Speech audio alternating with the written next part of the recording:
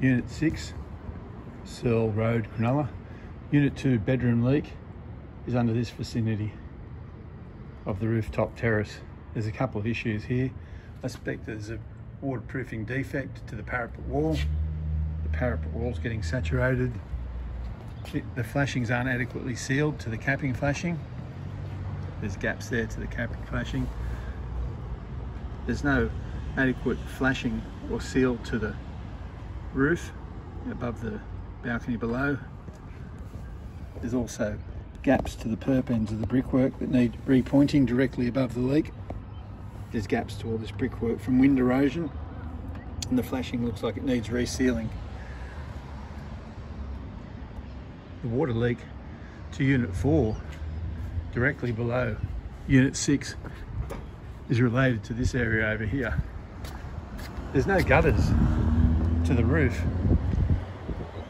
The water flows in an uncontrolled fashion down this wall, causing mould and moss issues on the wall and cascading water directly into the expansion joint, which is delaminated and the caulking needs resealing.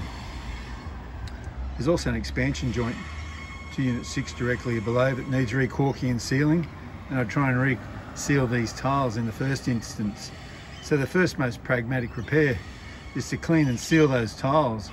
Unit 6 directly below, recaulk the joint directly above the unit 4 water leak, recaulk this joint to unit 6's wall, clean and seal this wall,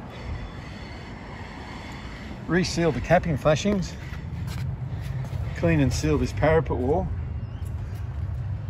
Long term we'd like to see a gutter on this roof to dispose of the stormwater adequately instead of cascading in an uncontrolled fashion down to Unit 4 and I believe direct, directly below Unit 1 which is causing a lot of problems to Unit 1, second bedroom and main bedroom. The uncontrolled water cascading off the roof on the upper level.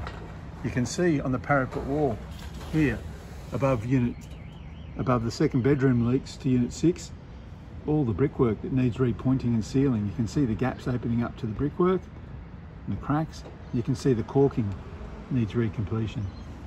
So I'd clean and seal this wall, repoint those joints, recomplete the polyurethane caulking and I'd monitor.